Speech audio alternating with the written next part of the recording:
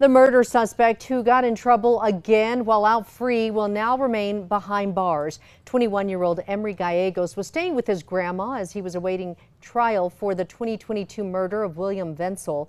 But police arrested Gallegos in June, saying he was driving drunk on Coors near the bypass. That violated the conditions of release. When you have such a serious charge as the murder, to think of someone, uh, you know, one o'clock in the morning, I believe it was when he was pulled over after work, going to drink and then um, uh, to the point of being aggravated.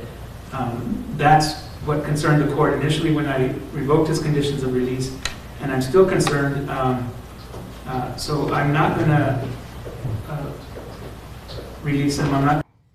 Gallegos' murder trial is set for December.